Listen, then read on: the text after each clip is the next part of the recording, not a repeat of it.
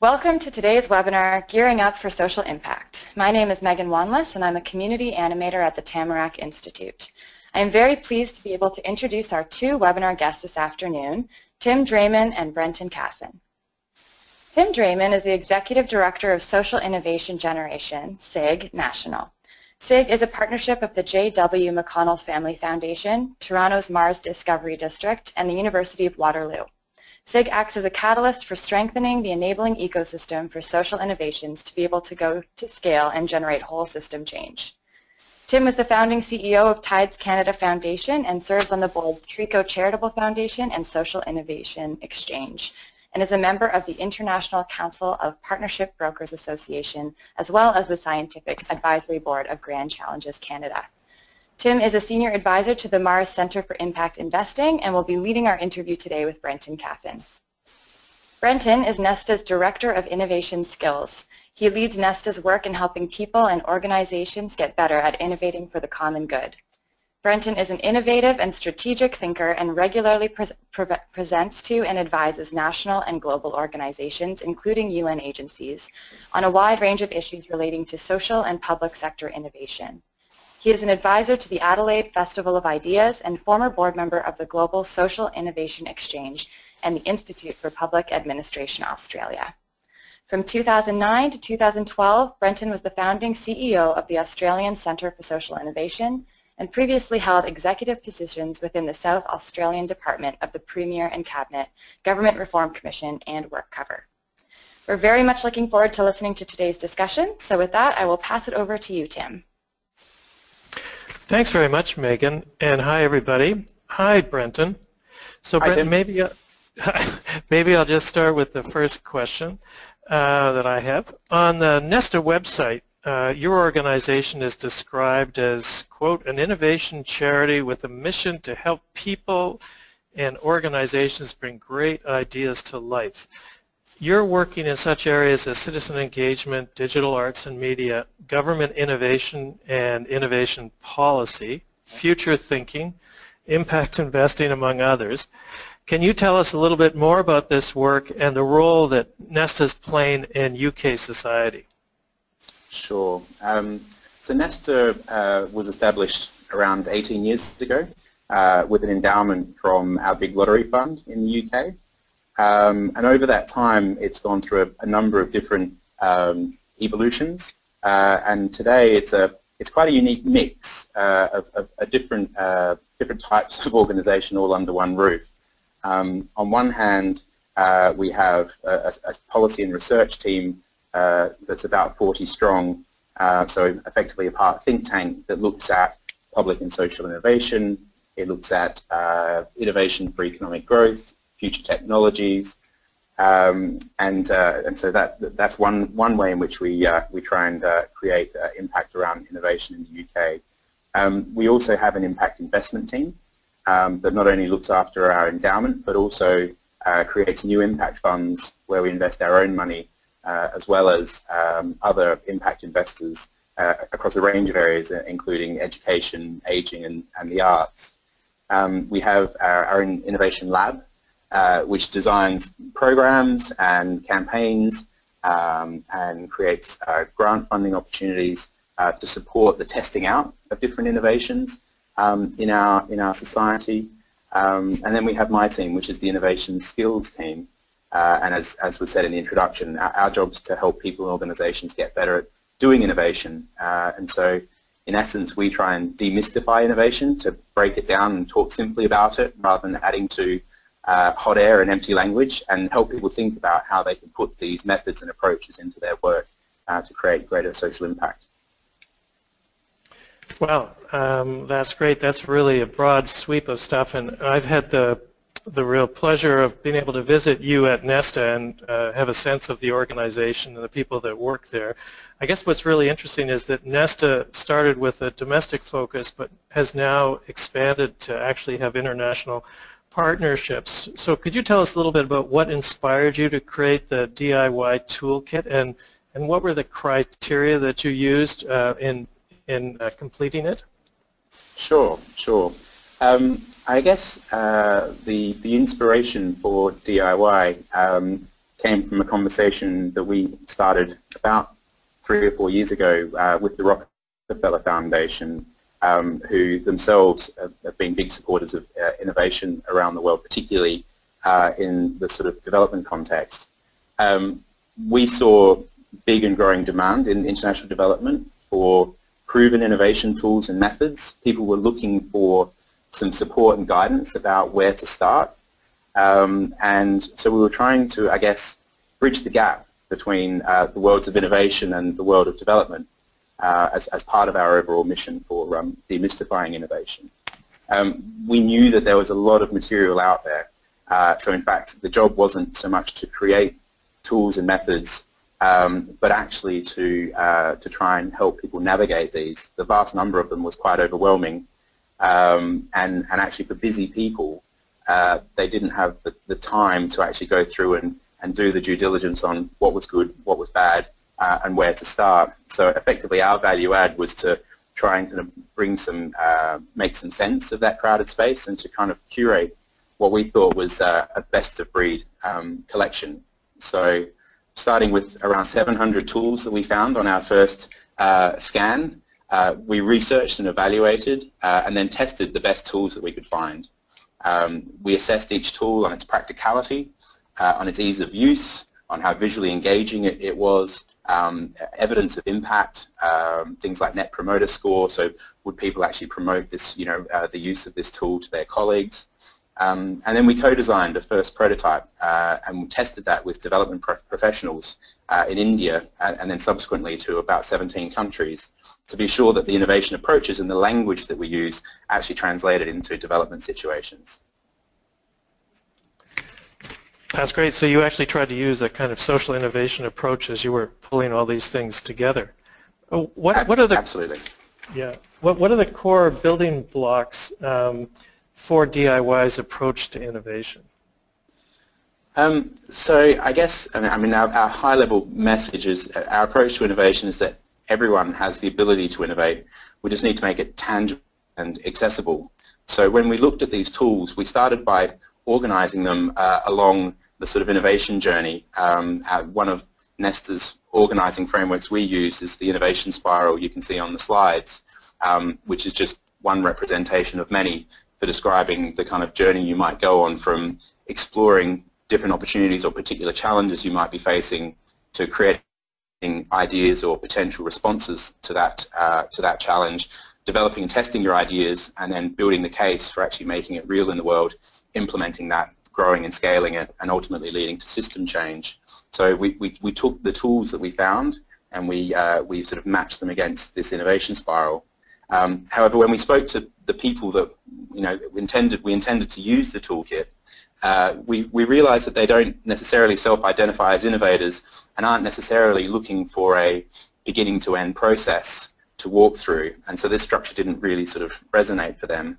So we actually carved up our innovation process into more sort of typical activity requirements that development professionals often seek support with, and we mapped those tools, uh, the tools against those needs. So rather than following a prescriptive process or methodology, the, the, the innovation tools that we put in the toolkit um, are basically then become more relevant at people's moment of need.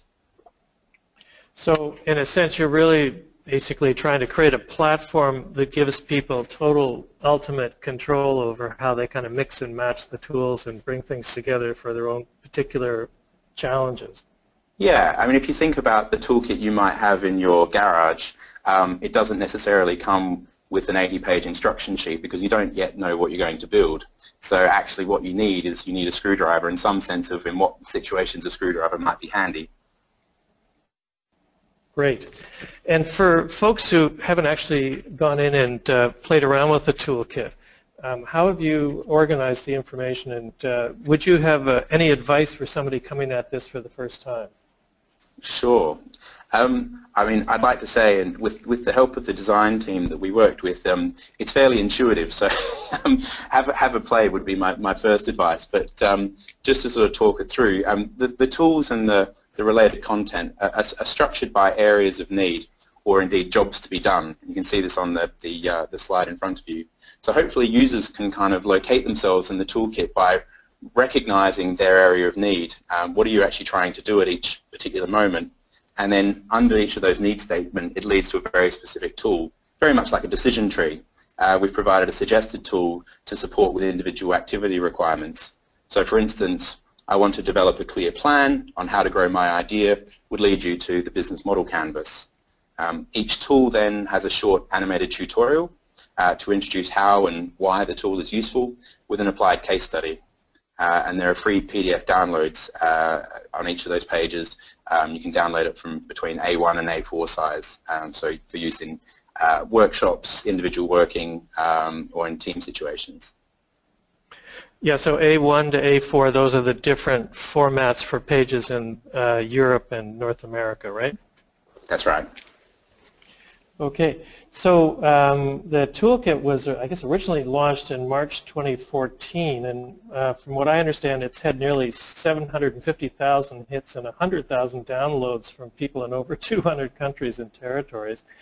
Would you be able to share with us any examples of how groups or individuals have been using this toolkit to improve their work? Yeah, I mean, as you say, I mean, that, that we were kind of a little bit astonished um, by the, the sort of the growth of the toolkit. I'm pleasantly surprised. Um, uh, and in fact, um, currently we've got 14 translations either completed or, or underway um, from Mandarin, Arabic through French, Russian, Spanish, uh, and so on. Um, so, I mean, I think what uh, it really spoke to us was that it helped to sort of advance this big idea that actually there, it was the right time for innovation to be democratized, to actually open up access to materials and, and uh, these opportunities for people around the world. Um, it was designed as a dip-in, dip-out resource for individuals to access at their moment of need. And um, I, you know, we've been successful in activating a large number of people, but I mean, to be fair, it's um, it's actually been quite difficult to track and monitor how they're using the tools. Um, we were very uh, lucky that a number of organizations um, have um, we've worked with to um, uh, document exactly how they've used it and what difference it's made in their organizations. We've also got some uh, valuable institutional partnerships with organizations like Oxfam, uh, the UN Development Programme, USAID, Global Giving, Ushahidi, and indeed Ashoka. Uh, and we've been working with them to kind of hardwire the tools uh, into their programs and learning initiatives. Uh, so for example, uh, the toolkit underpins the Global Giving Effectiveness Dashboard, which means that uh, civil service, civil society organizations can improve their project performance rating if they demonstrate applications of the tools and new learning as a result of that. Similarly, Making All Voices Count uh, which is a, a, a, um, a, program managed by Ushahidi, encourages all applicants to use the DIY tools to support their applications and pitch presentations. And the feedback from them has been that the quality of applications is significantly higher than when they first opened in 2013. Uh, and in fact, just today um, I heard um, from the team that uh, there's an NGO in uh, Nepal called ChildReach in Nepal, uh, run by a young global leader from the World Economic Forum. They've actually adopted DIY as kind of the core of their professional development framework. Um, and so they're using the tools and the learning modules, which we'll come on to, uh, to actually guide um, the, the entire professional development of their NGO. And I should actually also put a shout out to the Canadian uh, institutional partners, including SIG, uh, the McConnell Family Foundation, and InnoWeave, who've also helped us to promote this. Great. Um, and just wanted to check, in terms of those 14 translations you mentioned, uh, was is French among one of the 14? It was. It is, yes. It should be out imminently. Great. Imminently, okay, because um, if you could let us know about that, that would be terrific. And in terms of the partnerships that you are mentioning that you've established with some organizations, would, are you still open to people approaching you about new partnerships? Yeah, absolutely. Um, um, it's a very, um, we have a very, uh, if you like, low barrier to entry for people who want to sort of help us to promote this.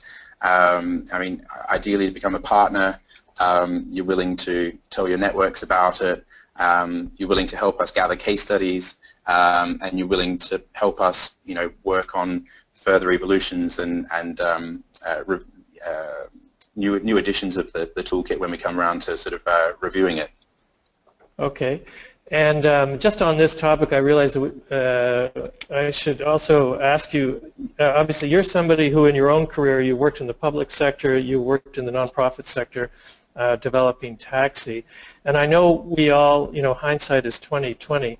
But uh, when you were putting together the toolkit, were there moments which you saw a tool and you said to yourself, my goodness, I really could have used that at this particular point when I was working on developing this project or this organization? Yeah, absolutely. I mean, I think, um, I mean, when I when I joined uh, Nesta three years ago, um, we, the, the, the research piece of this uh, had already started. But when I looked at the the long list, and certainly when we tried to get it down to a short list, there were there were certainly uh, tools that I was very familiar with and used quite a lot, um, from service design and sort of business strategy, like the business model canvas. Um, there was actually some that were completely new to me, and I and I you know uh, it had been I, I, yeah, I wish I'd seen those earlier. So in a sense, um, that sort of use case was, was one of many that I kept in the back of my head um, when we tried to think about um, what would be useful. In a sense, we didn't try to make this comprehensive because actually that way leads to an encyclopedia that has too many tools and becomes too difficult to get your head around.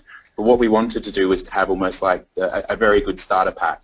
Um, if you were to sort of head into the jungle with only a certain amount of tools in your in your backpack, which would be the might get you through 80% of the situations rather than designing for every occasion.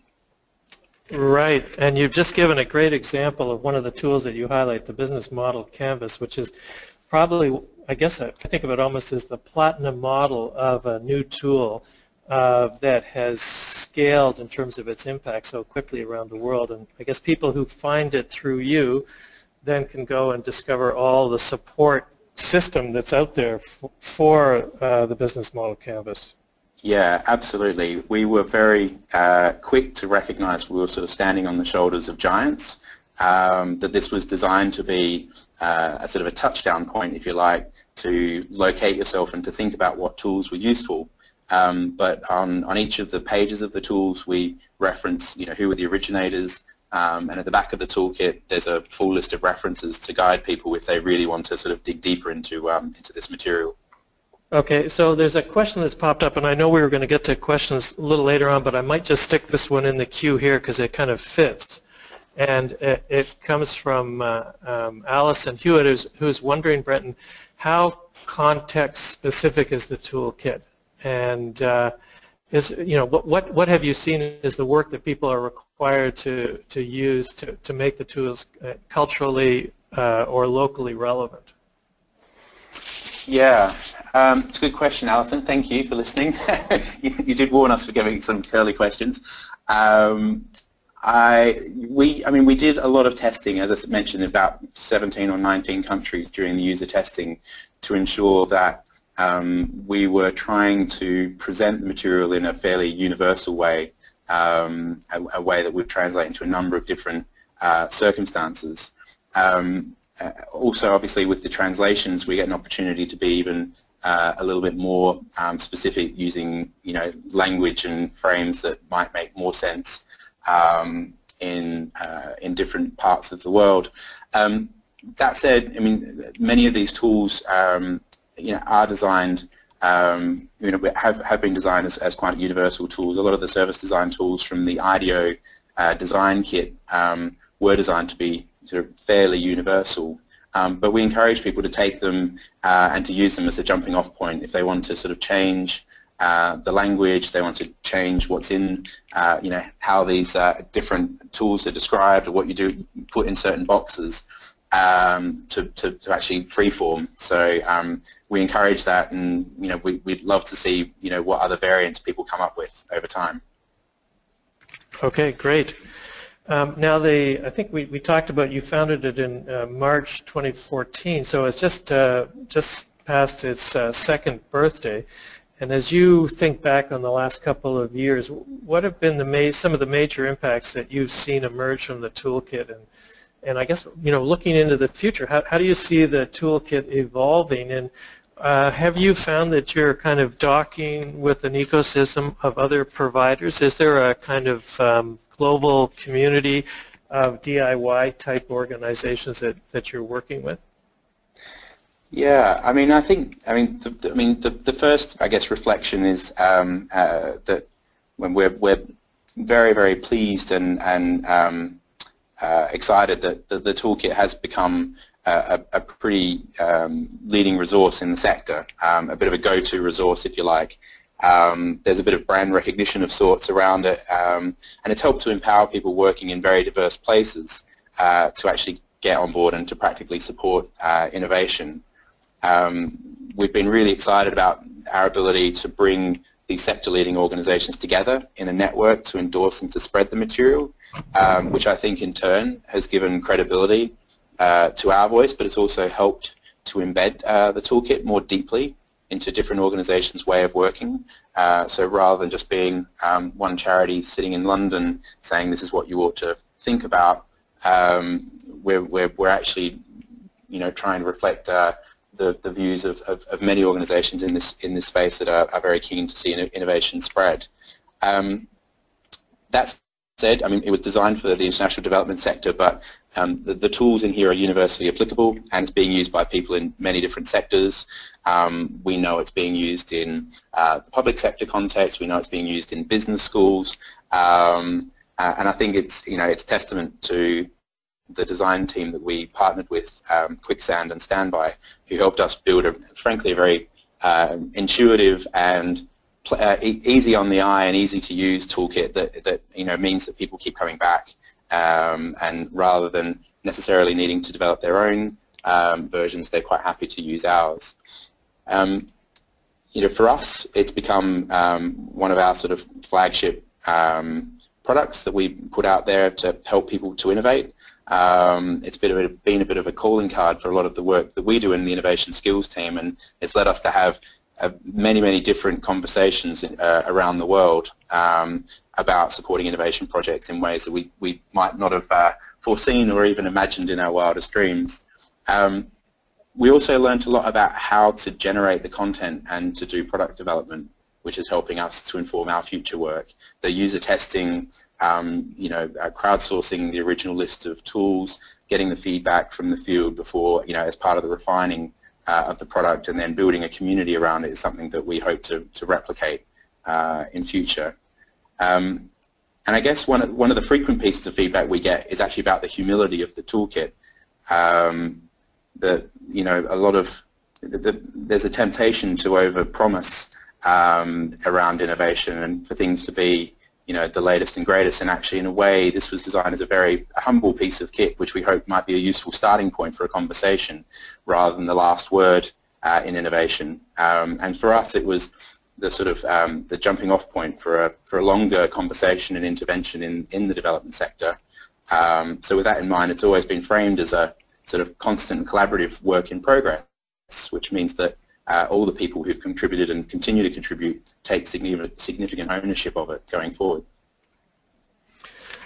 That's great. Uh, uh, one of the things that I reflect on about your work is that you came at this um, coming from Australia, where you started the, really the first national Australian organization um, supporting the development of a, of a stronger, uh, I guess deeper approach to innovation for solving uh, social issues. And um, I think it's fair, fair to say that um, innovation isn't the strongest part of the social sector's DNA yet. Um, we're still working on strengthening that muscle. Um, how is your experience in developing uh, a DIY toolkit and your um, I guess, uh, working relationships and interfacing with your different partners as you're developing it. Um, what has that uh, led you to reflect on in terms of where we're at in terms of this, I guess, cultural shift or mindset shift um, that opens up uh, thinking inside of existing organizations to entertain more innovative approaches? Yeah, I mean, I guess one of my reflections is um, uh, and, and, I guess there are parallels with the social sector and the development sector is, is to be wary of innovation imperialism. Um, that this isn't about trying to impose um, a, you know, a, a, different approach to sort of stop what you're doing and what you've been doing for 40 years and start doing this. Actually what we're trying to do is to sort of reconcile and build on good practice within those sectors, but at the same time, um, uh, surfacing um, different you know methods and tools that um, can be used in their day job um, to do things in a different way um, without without kind of um, uh, yeah asking you know dragging everyone back to first principles um, actually there's a lot of good work that has gone on. In fact, you know, in, in, other conversations we've talked about, you know, some service design principles in innovation of, you know, drawing on participatory action methods which have been used in, you know, development uh, arena for 30 and 40 years. So um, I think that sort of coming in from a, um, a position of humility um, uh, and actually, but at the same time, trying to um, uh, invite people to apply different approaches to their work um, to give them, the, I guess, the confidence to sort of try some different things and the, the ability in this toolkit to uh, allow people to, to take those sort of initial steps to try different things, to sort of potentially approach the problem from different ways, to think about their audience in different ways, you know, to test and iterate their ideas in different ways, um, you know, hopefully can um, bring some, uh, you know, additional uh, value and, and, and, impact to these sectors, but without without doing so from a from an arrogant perspective. Well, well, speaking about how organizations um, wrap their arms around these tools and um, I guess, as you're saying, use them in the way that's appropriate for them, building on the assets that they've already developed. I guess one of an, an interesting question is uh, the, the kind of roles of different parts of an organization, the staff, who I guess many of us would think, oh, the, the, this is geared towards the staff. But uh, just also be interested in to know if you have had any feedback about how the governance structures of some of your partners um, have been have been using this in terms of, um, uh, of using it to spark the conversation throughout the organization, including its board or other kind of advisory structures, about how it's approaching uh, achieving its mission? Mm, it's a good question. Um, I mean, I think one of the experiences that that I've seen is actually more about how do we help more guerrilla innovation. so actually, how do we help people to, um, without having to kind of, you know, um, set up a new capital I innovation program, how do we, within their existing work and their existing projects and budget lines and responsibilities, nonetheless actually start to sort of approach the, the you know, the issues and challenges they face, um, you know, from a different, from a different angle. Um, so a large piece of work that, that we've been doing increasingly is, is actually helping people create space within existing um, operational paradigms to um, to generate uh, new ideas. So um, rather than having to go to the top of the office and sort of trying to change policy, how can we actually use some of the the, the sort of um, the, the, blind spots, or how can we interpret um, policy in such a way that enables us to kind of actually use a lot of these methods, and thus we actually get the innovation without having to kind of go to the top of the office and, and try and sort of you know um, uh, advocate for sort of radical change. Um, so that's something that we've seen quite a bit of. Um, uh, I'm, yeah, I, I, can't think of I, I, can't think of any situations off the top of my head about where people have used this to kind of spark conversations at board level, but that might just be because um, they haven't shared them with us yet. Okay, um, but I think you you raised the, the whole notion around guerrilla innovation is really interesting. Like, where do people get purchase or gain some traction you know, and I, you use the term guerrilla innovation. I know John Kotter talks about, um, you know, how can an organization create a secondary operating system inside or really a skunk shop to try to do some of this stuff. I guess that's what you're alluding to. How do people continue to do the uh, core mission-related work at the same time as um, as kind of creating a little bit of protected space for this experimentation?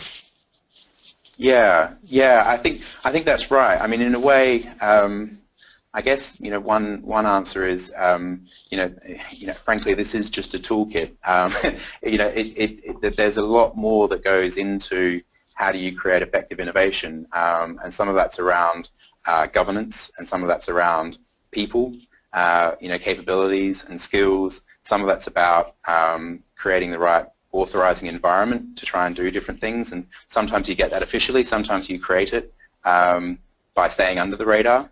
Um, and so it's a combination of a lot of these things um, yes, there's some kind of methods, uh, and obviously some of those we've captured in the toolkit, but there's a, I guess, a, a, much richer story around that in terms of how do we support individuals and teams and organizations to uh, think about how they um, build up the, the muscle memory to try these approaches out and to give themselves the sort of confidence to try and experiment and iterate and fail and improve.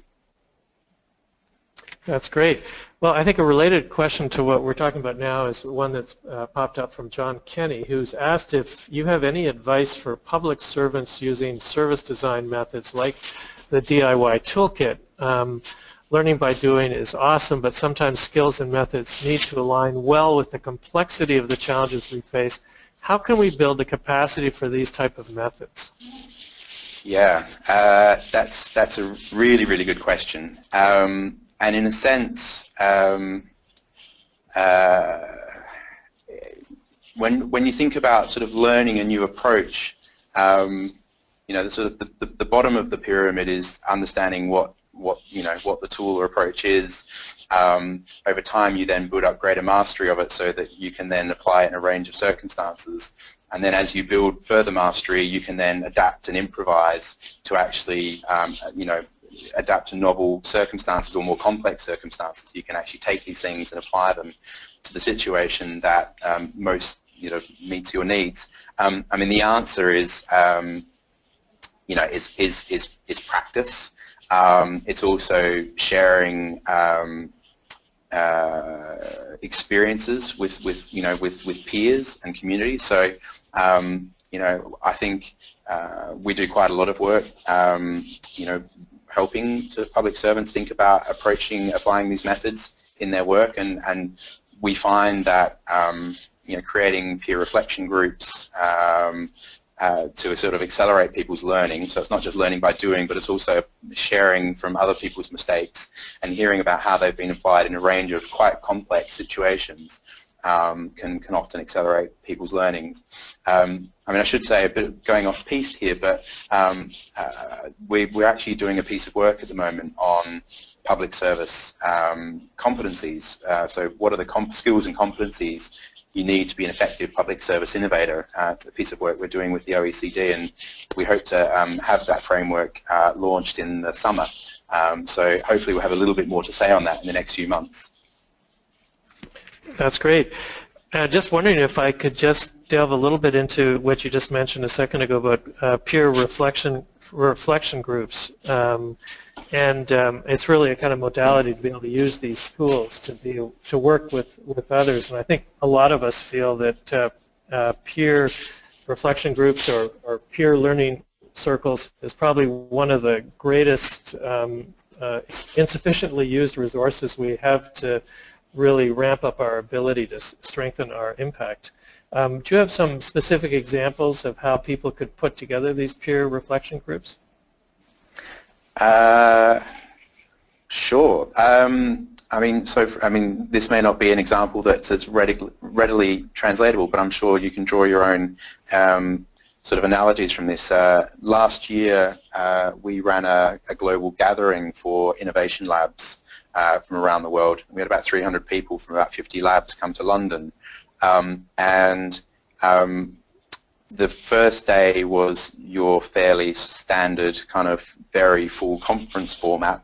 Uh, the second day was a little bit more unconferencey uh, chance to kind of share what different labs were doing with other practitioners. But on the weekend, we, we basically booked out Nesta's um, conference room. Uh, we would have loved to have gone to a nice countryside retreat, but uh, there was none available, so we had to stay in, in central London. Um, we booked out our, our sort of um, our meeting room conference rooms here, and we had 16 labs uh, hang back for the weekend, and to really think about all of the, the sort of the fresh stimulus that they'd received over those two days, um, obviously, they were thinking about what that meant for, for them and their labs. A lot of them were just starting out. And we spent two days effectively in a, in a sort of a coaching and peer reflection space. There was not a huge amount of instruction. It, was, it wasn't about giving them more input. It was actually just about creating space for them to think through what this meant for them. And, and in that, we actually used a number of the tools from problem definition to theory of change um, and personas to kind of actually really help people think about well, what, what is actually the real problem you're trying to address here? Why, why does this lab exist? What, what, what does success look like? Um, how do you know whether the activities that um, you, that you're doing are actually driving towards the the bigger, the larger impact that you hope to have, um, and how much do you really understand your audience and the reasons why they might or might not choose to engage with you, um, and using some of those simple tools with a lot of time around that for people to to think and to get feedback from peers, but also for mentoring organizations like Nesta and MindLab in Denmark, organizations that have been in the space for a decade or more, um, to kind of share all the things that we've got wrong um, to try and help people um, accelerate through that. But um, that was a very, uh, very useful time. Um, as I say, we spent a couple of days. We had dinner the night between, which also allows for a different style of conversation. Um, and that's something that you know we, we definitely would uh, look at running again. Wow, that's a really interesting example of, uh, in a sense, having an educational forum and following it up with actually people uh, unpacking what they've been discussing and learning and uh, kind of going much deeper in it. That's a great example. Um, I've got a, another question, uh, this one from uh, David Pluff, and he's interested in knowing um, what has surprised you about the DIY toolkit? Mm. Um, what surprised us about the toolkit? Um, I think, well, I mean, the, the, the volume of people using it um, uh, was, was surprising. I, I think it's fair to say I think we set a target of 50,000 people, 50,000 downloads in our first year, and I think we got somewhere like about 10 times that. Um, so, you know, um, it obviously struck a nerve, um, and that I, I think I put down to three things. It was the, the you know the good design from um, the, the partners we had. It was the user testing, which meant that it actually was relevant for people, um, and the sort of the, the sort of partners we had around it who really helped to sort of spread it into um, some very very large and diverse networks. So that so the uptake was was a, a pleasant surprise. Um, I think um, the desire to translate it into lots of different languages, um, you know, actually goes to the point that Alison, the question she raised earlier about people wanting to make it as local as possible, um, and indeed that that's sort of something that we're continuing to give some thought to. Um, we've, you know, in our first sort of couple of years, we, we were invited out a lot to run DIY workshops and trainings, and um, we did some of that because we wanted to test out how the materials would work in a workshop context. And obviously, we use a lot of these in our own in our own work, but we're not geared up to spend all our time racing around the world doing one-off workshops. So um, it's given us a lot of pause for thought as to kind of what the might what the best um, uh, ecosystem might be that we need to build to ensure that um, we, we have not only the materials, but we also have the connection to um, you know people in real life, face-to-face -face situations who can help people to um, to um, make sense of this in their own local context uh, and to put it to good use. Great. Well, that's a thank you. That's a great answer to the question. And also, you included in that, I guess, the three um, key uh, success factors for you around the good design, the user test, and uh, and the quality of and, of the partners and the relationship with partners. Um, in that answer, one of the things that I'm struck by, and you've alluded to earlier, is you come back uh, again and again to the whole question of design. And I know that uh, design is really one of the kind of core DNA elements of a social innovation approach, but it isn't one that I was exposed to very much, in all honesty, in all honesty, you know, earlier in my career before I got to social innovation in a sense. And I think that the growing visibility of design and design thinking has been one of the really exciting parts of this whole field. Is there uh, some thoughts and insights you have around the whole question of design and what that's meant for you in the DIY toolkit? Well, I mean, I guess uh, so. You know, when when we started TACSI uh, nearly seven years ago, um, design was kind of one of the sort of, uh, I guess, the early um, calls that we made about sort of what we needed to have in our method set um, to go out and sort of to radically redesign social services. So um, in our work, we uh, our hypothesis was that there were um, there were parts of our our public service systems, our social service systems that had got stuck Um, and if we were going to unstick them, we kind of needed to think about different methods uh, for doing so. And, and I think the, the I think the really nice point of connection between design and social innovation is really about that that user focus, really designing around the needs of the user. Um, very often in government we design around the needs of the system um, and so bringing design into, a, the, into TACSI, into a Centre for Social Innovation, helped to ensure that we had a methodology that, that really prioritized the actual needs of the, the user and built from that, uh, you know, ideas, solutions, ventures, um, uh, projects that actually drives what they, the outcomes that, that really matter to them and then builds backwards from that into solutions that we can we can implement and embed in systems.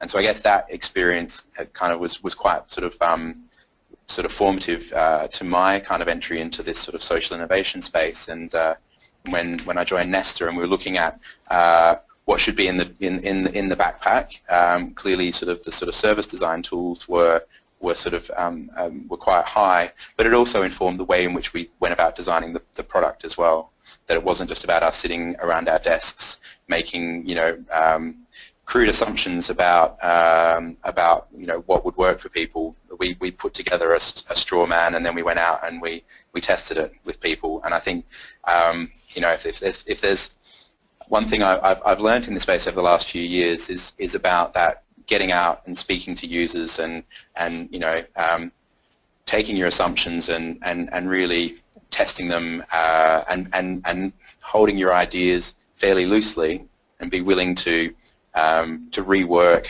or even bin and start again um, once you sort of get the, the feedback from the field. Yeah, uh, that reminds me of the, the um, caution that I've heard again and again um, it's important to love the problem and uh, don't love the solution because you get married to a solution when it might not actually work. Um, I've got another question I was going to ask you, Brenton, but at the same time I just wanted to put out the call to people that after this, after you answer this next question, we'll have time for uh, uh, uh, questions and comments from people. So if people could uh, put those in their box, that would be great. But um, one of the things, I, I, guess the final question I have for you right now at this point is um, just to uh, mention that uh, you've recently announced a partnership with the Open University. In a sense, you're taking the DIY uh, to another level, going from the DIY toolkit to create a thing called DIY Learn. And DIY Learn um, seems to feature, I think it's got about 10 interactive bite-sized modules that, that focus on what you've decided are the most widely used tools and methods from the toolkit. Um, what are you hoping to do with DIY Learning? Can you just tell us a little bit more about it? Sure. Um, yeah, so the, I mean the partnership with the Open University, um, which I should also say um, is, is, further is further supported by um, uh, the Rockefeller Foundation as well. Um, it enables us to take innovation learning online uh, and to scale. as I mentioned before, we there's a limit to how much we can do face to face with a small team in London. Um, and so with limited resources, we, we set ourselves a, a, design challenge to how do we how do we reach 10 times more people with a tenth of our input, thus giving percent uh, growth in, in scale. Um, you know, this project is, is will help us to get some of the way there. Um, our ambition is that the, these online modules will complement um, learning programs and initiatives that, that already exist. Um, so these are, basically two-hour um, sort of standalone modules on 10 of the most popularly used tools. Um, we, we, we actually used the, uh, the web stats to sort of work out which they were um, and uh, to make sure that we, we started where, where people were, were, um, were, were, were already going. So it represents about 60% of the, the traffic on the DIY toolkit now has uh, online learning modules around them. And the idea is that they're, um, you can dip in, you can dip out of those, you can access those just in time. If they're not a MOOC, in the sense that you don't have to sign up for a six-week program. You can literally go home one night and decide, right, tomorrow I need to do a business model canvas. I'm going to spend a few hours boning up on what that is um, and come back the next morning and have a go. Um, they're also designed as plug-and-play content, so they can actually be syndicated to different providers to actually put into their own platforms. Um, it's all free to use, um, and uh, yeah, we, so we hope that uh, the content can actually live in many, many different places and, and more easily fit in with, with people's daily working practice. Um, our ultimate game is to, is, you know, aim is to um, uh, embed innovation in the everyday practice of organizations and, and we see this as a, a step in that direction. That's great. Are, are you going to make a, a, have a tool in the toolkit that'll uh, help people evaluate how much they've in, embedded innovation in their culture? Uh, we don't have it there yet, but maybe, maybe, we should do it. We should do it next time. Um, yeah, uh, it, it, evaluation is a, is a is a really it's a really interesting one, um, and we've thought a lot about different ways of evaluating what we're doing. Um, in fact, you know, the, the, challenge with a lot of evaluation methodologies is they aren't easily reducible to a simple tool. Um, and, and we didn't necessarily want to oversimplify things that were a bit more complex. So there are some gaps, and, uh, and actually, you know, if, if, people sort of spot other things we should be using, um, then at some point we are going to do a version 2.0 of the toolkit. So um, we'll be looking for people's uh, suggestions. I should also say, in case there are any large funders out there, um, we've done the 10 modules um, based on the volume. We'd love to do more. Um, we've done as much as our funding will allow. So if anyone wants to see the next 10 um, uh, put onto open line, online learning modules, then um, please get in touch. Great. I'm glad you're doing the pitch.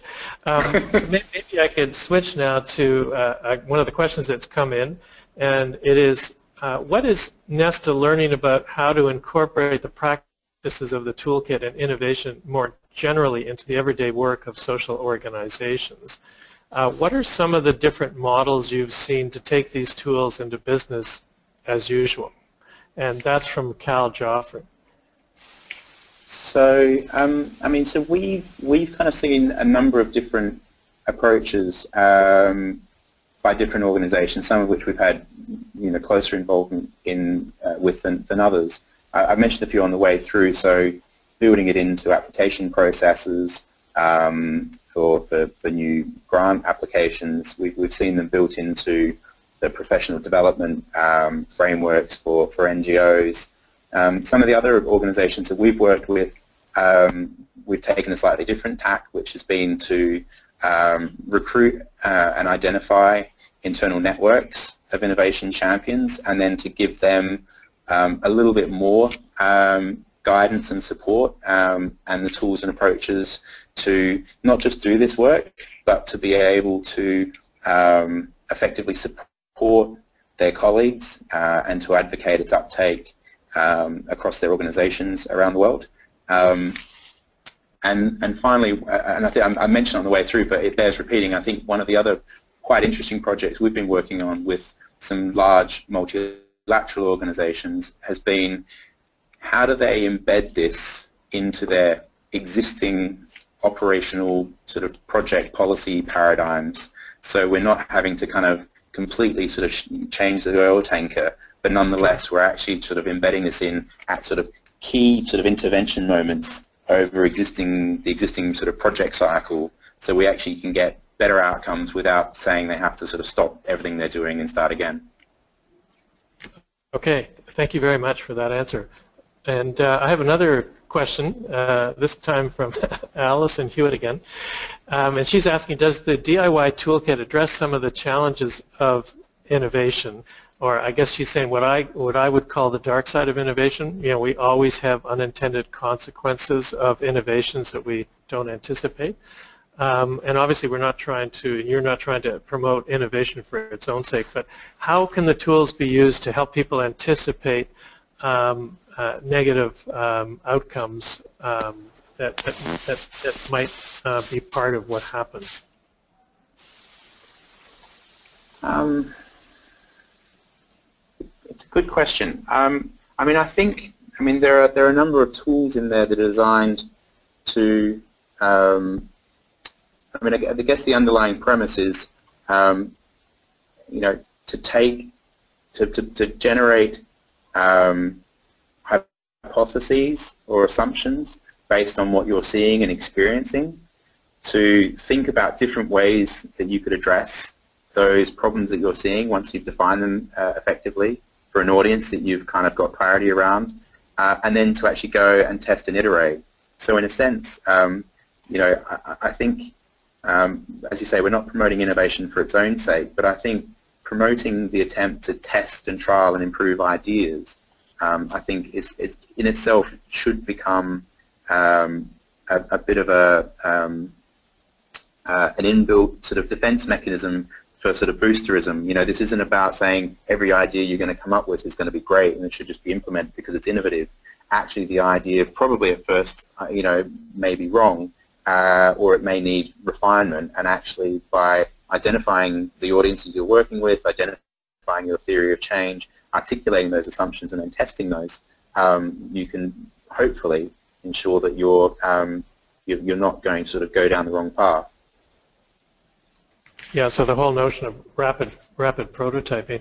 So uh, we're coming up to the end of the time we have for the Q&A. I've got one, one more question, and um, it's really about um, trying to, if, perhaps if you could review um, getting on the web to all these tools. You've mentioned the DIY Toolkit and DIY Learn. Could you just explain how DIY Learn can be accessed? Is it from yeah, within? If you if you go to the DIY Toolkit uh, website, which is DIYtoolkit.org, um, about halfway down on the right-hand side, there's a button that says DIY uh, Learn, um, and it's probably easier to access it from that from that page. Um, there is a, a, a, an Open University uh, URL, um, but if you actually look on the right-hand column, about halfway down, there's a DIY Learn uh, page, and if you click on that, uh, it says Go to Modules there's a button on there that will take you to the uh, Open University website and all the courseware's in there. Okay, that's great. These have been great answers to the question, Brenton. I really, really appreciate it. We're, we're running out of time, but I see that uh, instead of a question, we've got a comment from Eric Yost, who's working on the White House Promise Zones initiative in Los Angeles and he says, uh, we use a collective impact model. We have used many of the tools for innovation in our work for comprehensive neighborhood revitalization in high poverty communities in central Los Angeles to solve problems around education, public safety, sustainable neighborhoods, and economic activity. Awesome toolkit. There you go. Thank you, Eric. That's great.